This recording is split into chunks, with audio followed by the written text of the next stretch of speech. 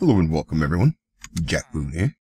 Today, um, on the Minecraft Nation of Vagabonds realm, and we're taking a look at the new world that we're working on here. And right off the bat, you can notice quite a few things are different. There's a scoreboard on screen that keeps track of players' zombie kills. And we use that as a type of currency among many other currencies here on the server. If I push tab here, you can see that I have uh, a score of 18,485 and increasing. That is the money total on the server. We use that to purchase everything in the many shops that we've created here around a spawn town, spawn village. Sure what that is. The other thing you can notice is I'm here in creative mode. I have command blocks on my inventory and uh, some other cool tricks and toys. I have this cool little stick. I'll show you guys what this does. Uh, since you're up here, it's basically my auto kill. Does um, an insane amount of uh, damage. So I use that to just kill anything I don't want. So first, I was here because this is where people will hopefully spawn in. There are quite a few homes around here, and I'm not going to try to show them off in this video. Uh, you can see this beautiful one here in the distance. That is actually Jen, or Mai and I's home. And uh, it's near completion. I think mine wants to put a few more things on it. But it's, it's, uh, I can't wait to show that off. I want Mai here to give me a tour of that one. So, first thing you do when you log into the server is you click here to add yourself to the currency scoreboard. That'll uh, track your, your money statistics. The zombie token, your name won't come up on the scoreboard until you actually kill a zombie. Um, in the beginning, I had a few shops that were a little bugged. I've worked the bugs out since then, but here you can actually click to remove your debt and reset the money to zero. I'm not going to do that because I'm going to need money to show you guys the shops, but um, this isn't really necessary anymore, but I use it quite often just reset my score because I'm on here a lot, and I'm, I'm, basically adminning on the server. Everybody else is in survival mode, um, and we may set that to adventure mode later. But everybody's on survival mode, except for Mai and I, who are adminning. Mai's creating some things. We are working on some projects together, including um, a PvP arena, and many other things. But one of the first things you want to do when you get on here is you push this button, excuse me, you please move. Welcome, free, free, welcome to the Nation of Vagabonds Tour Guide. This is a little book I wrote up. grab a copy here. Uh, let's go ahead and read it. It's nine pages long. Welcome to the Nation of Vagabonds Minecraft realm. The Vagabonds and I have put together a wonderful spawn area for y'all to explore and benefit from. There are teleporters, shops, ATMs, and more. Be sure to read all the signs carefully before pushing any button, random buttons. We are also working on a PvP arena with unique rewards coming soon. In the meantime, kick back, relax, and enjoy making some easy money. That's right, this realm has a currency in which you can purchase items from various stores. It's easy. You make money for every second you are logged into the very um, server. I think that was supposed to be server. I don't know why that says very.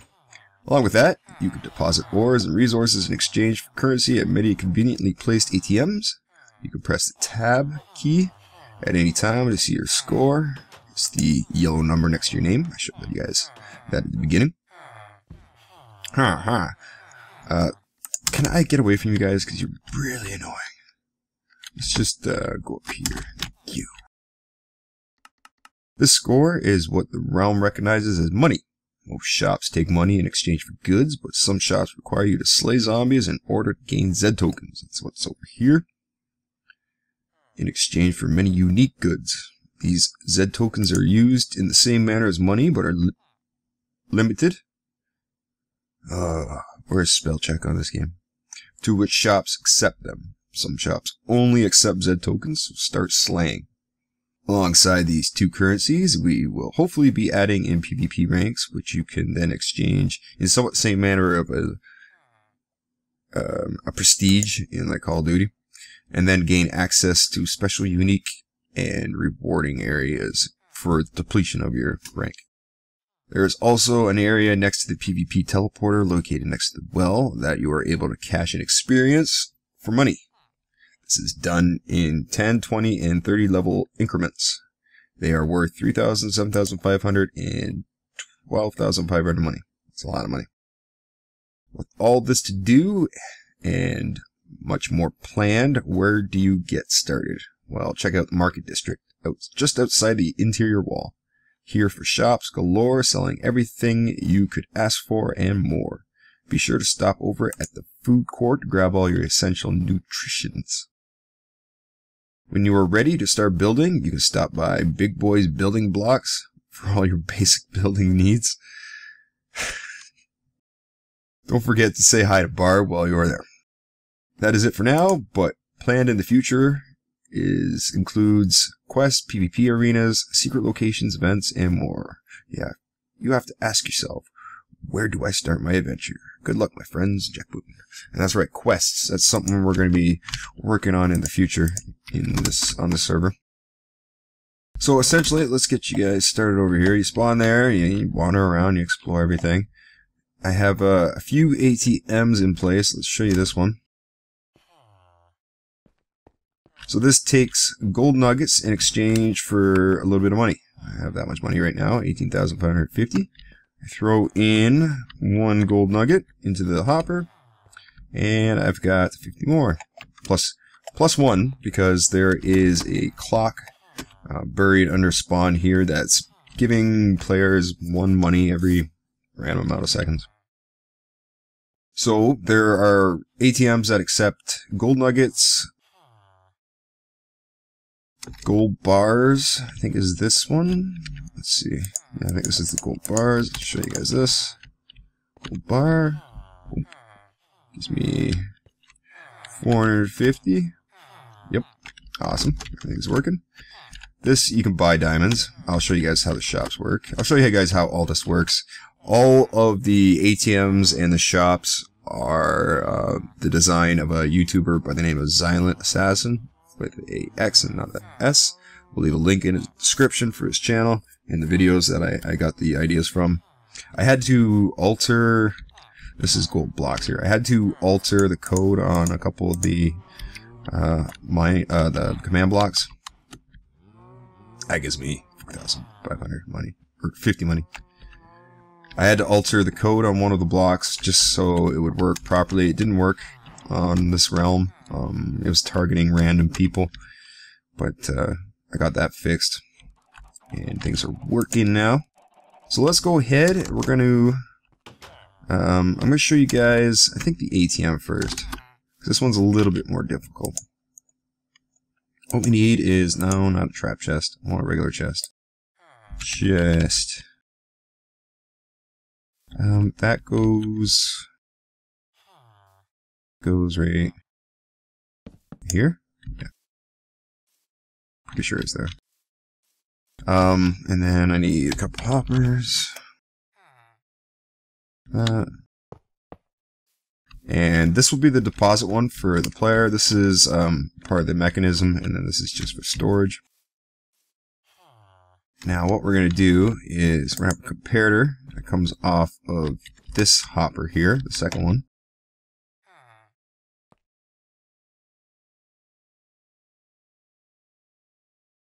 Hmm.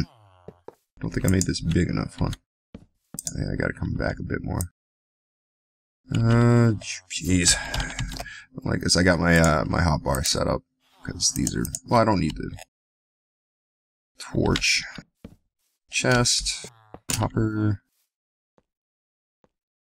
So this is a comparator. It sends a signal when certain things are activated. It's a tricky mechanism, not one I fully understand, so I can't uh, really explain it to you guys very well, but we need it for this. We also need that block there. Um, I'll just grab this yellow wool. Yellow wool is just so I know what I need to dig out. I planned this out ahead of time. But, uh, let's hope I don't mess this up.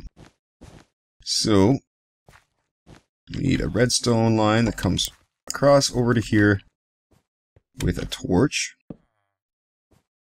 So Um, when the deposit's made, it'll go into this hopper. This hopper will send a signal out through all this stuff back to here, which will actually turn this torch off. And then the redstone wire is locking that hopper in place. Um, you'll see why in a minute. Now what we need is a command block here. And what it's going to do, and it's a little hard to explain here,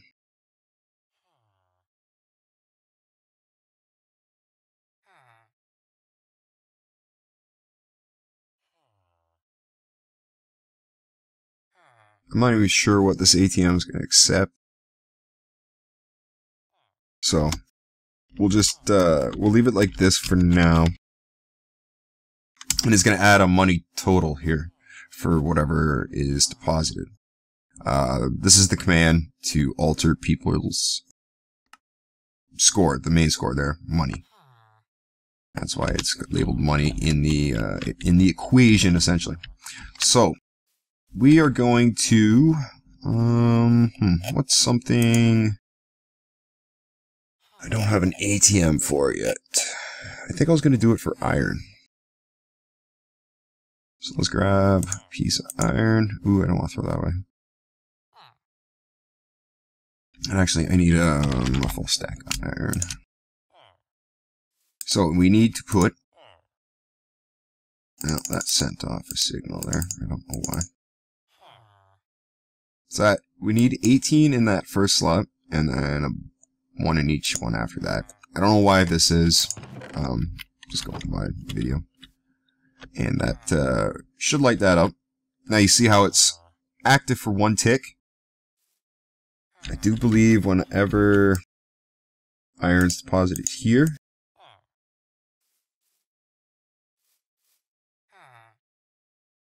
Hmm.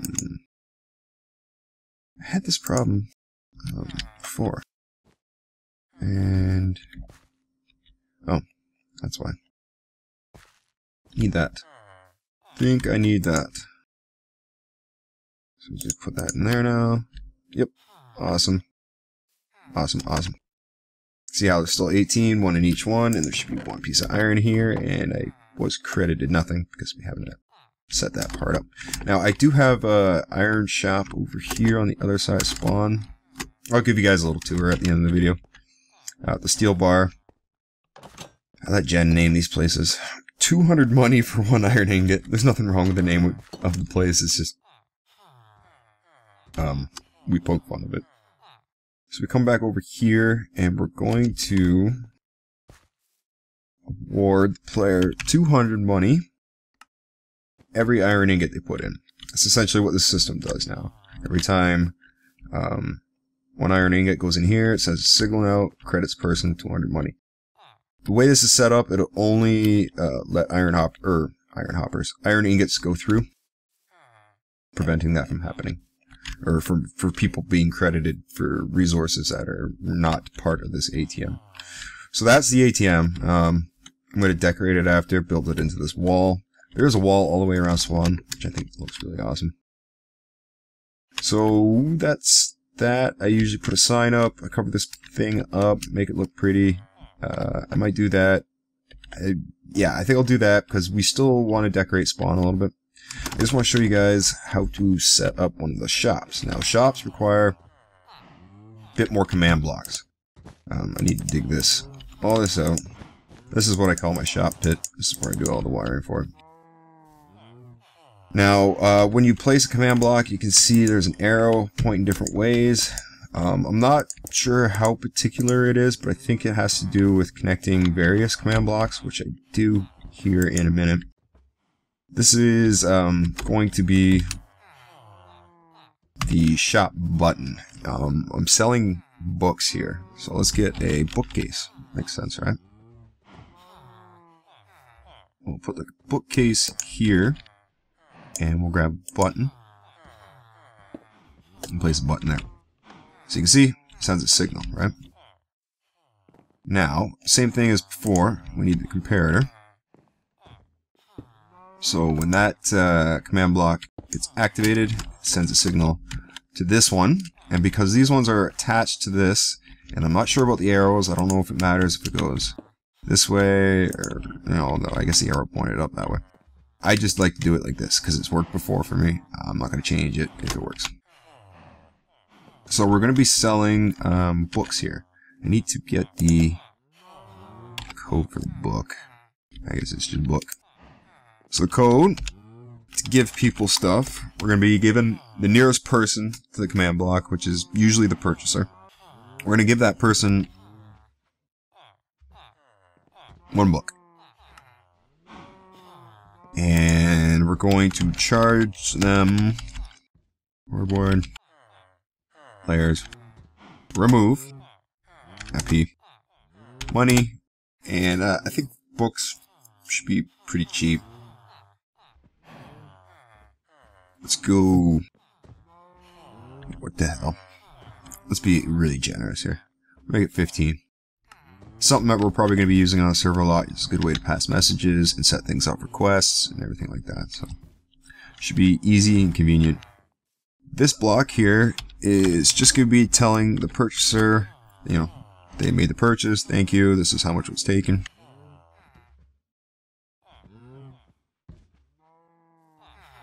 Fifteen?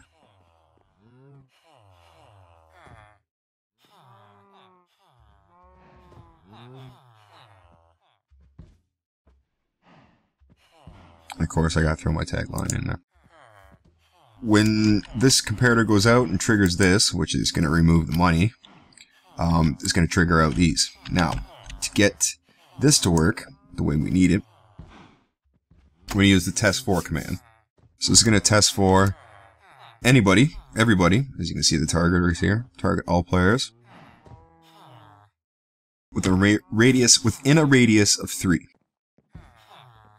And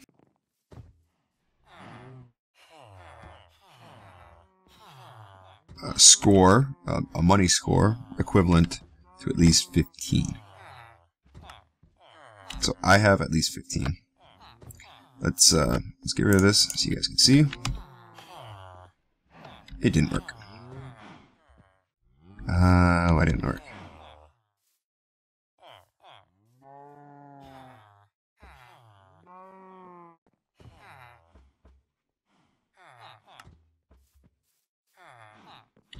Oh, I don't think I was close enough. There we go. I need to put a block there to step on. Um, let's get rid of the button. And we'll just put... What color is this? Put some dark oak right there. So this prevents people from, you know, purchasing from too far away or other people being charged for somebody's purchase. You essentially have to be standing right next to the button. Now, you saw that. It's locked up. The comparator's locked in the output signal. We need to reset that. And this is where a little bit of redstone wiring comes into play. Uh, I think I'm actually going to have the redstone come off this side. So what we need is the signal from the button, original button push, to come out this way. hit this redstone torch, which will um, shut it off. Now you see here, it's going to burn itself out. And then when that, um, I guess I have to reset that. We want that to uh, send the signal out here to basically reset that.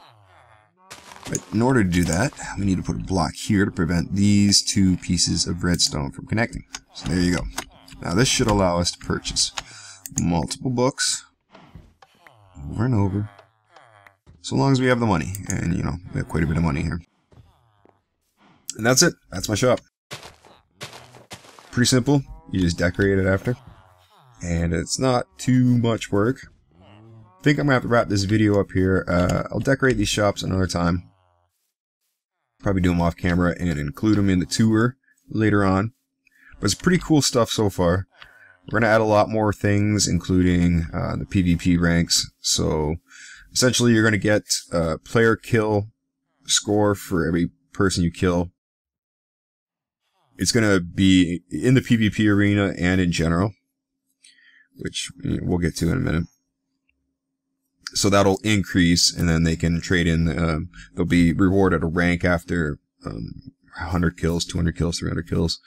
And then with that rank, they can access like a treasury room, get really cool stuff, or maybe a legendary weapon or whatever. Legendary weapon is just basically uh, any item or anything that's been uh, altered, much like this stick is. Stick. Uh, that didn't sound right. See, I can just kill whatever I want with one touch. I think this even kills like the Ender Dragon, or Wither, anything. It's pretty powerful. Along with that, the PvP ranks we have quests that are going to be giving out cool rewards. So lots and lots of cool things to come on this server. I will be joining everybody in uh, survival or adventure mode. We're not sure what we're going to do. Uh, I'm going to try to look into making like land claim blocks that are going to allow people to go into... What the hell is that golem doing? Dude, that's not safe. You're made of iron. You're going to fall. Anyways, uh, I'm thinking about making like land claim blocks that are going to allow people to go into um, creative mode in and around their home. You can see the lag on the server is getting a little bad. The moon keeps skipping there. But not, uh, it's going to allow them going into creative as in flying, but not give them access to creative uh, menus, so they still have to purchase their own resources. And we got some really cool shops over here. This is, uh, uh what did we call it again? Big, big boy building blocks. It's got all kinds of building blocks, everything you can imagine. Um, and, and fairly cheap too, because I want to encourage people to build on the server. So lots of really cool stuff. It's two floors. I think there's uh, 12, uh, 16, 19 shops in this one building. Some really cool stuff. Whatever. I think the doors have been put in so that the villagers can come and go. We also have nighttime uh, lamps on. I shouldn't be showing this. We need to decorate still. Lots to do. I still have some room to put in a few more shops, or I'm going to add in a few items that people have been requesting. Just simple, easy stuff. But I think that's going to be it. decorate these two areas up off camera. Show you guys that in the tour. Oh, the, the land claim blocks. Uh, it's going to allow people to do, go into creative, but I'm thinking about putting everything on um, adventure mode. So nobody will be able to break any blocks um, unless they have like the land claim block in that area. So it'll be interesting. Uh, it'll make gathering resources a little bit harder because nobody will actually be able to harvest anything. Um, but then I'll have to make um, rewards, quests, that those kind of bonuses a little more uh, abundant. If I can get uh, the hang of these command blocks and, and the coding in this game, I'm hoping to get custom NPCs which you'll be able to interact with and uh, get quests, so quest givers essentially. But uh, even if that's not quite possible yet, we have books, buttons, all kinds of cool stuff that will activate unique events maybe summon a horde of zombies or um, Ender Dragon battle somewhere, teleport everybody to uh, somewhere in the void that they have to fight the Ender Dragon. So pretty cool, pretty cool um, stuff in the works here. And I don't really want to show much off, but uh, I'll, I'll definitely be sure to do that in another video. If you guys want to see that, be sure to leave a like on this one. Subscribe to my channel if you haven't done so already. Share this video with your friends. It helped me out a lot. There goes all the lights. And it's daytime. So, I've been Jack Boon. This is the Nation of Vagabonds Minecraft realm. I really need a new skin. Gotta get this pumpkin off my head. Been there since freaking Halloween. It's starting to rot. And until next time, as always, have a good one. Before you're able to get it mobile. I swore I saw shooting. I swore. Sure, shit.